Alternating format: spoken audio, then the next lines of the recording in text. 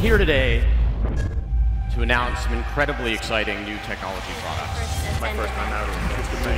Games are definitely impressive. What would you say to people that weren't able to attend in person? You missed out.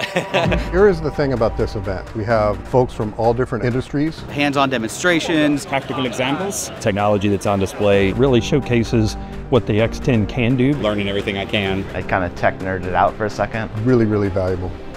You should have drones out there all the time doing useful work for you. All that data should be fed back where you need it, and that's why we created the dock for X10.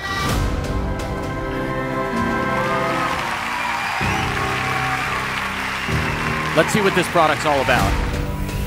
When you see the drone and all kinds of weather, you know that this is dependable technology.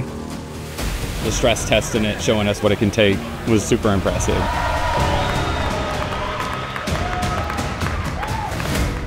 I'm gonna send a drone out there.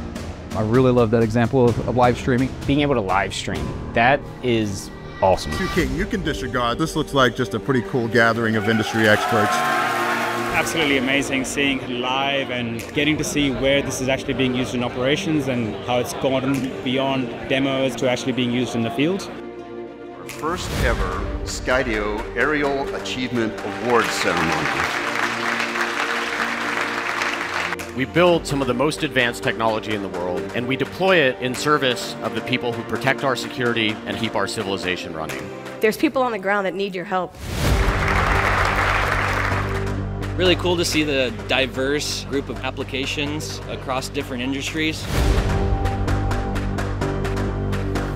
Having something that can be on scene before we are, it- it's a game changer. A lot of the Skydio staff has come to us, and it's not just how great the product is, also what can we do to help.